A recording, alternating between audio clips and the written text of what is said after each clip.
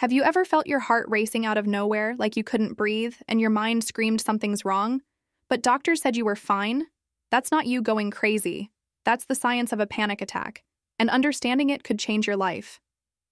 A panic attack happens when your brain's fight or flight system, the same one that kept our ancestors safe from predators, switches on at the wrong time. Your body floods with adrenaline, your heartbeat accelerates, your chest feels tight, and dizziness kicks in. But here's the truth panic attacks are not dangerous. They are your brain misfiring a survival alarm when there's no real threat. What often triggers this? High stress, unresolved anxiety, even too much caffeine or lack of sleep.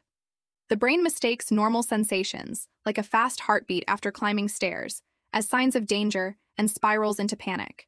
The good news? With awareness, you can retrain your brain.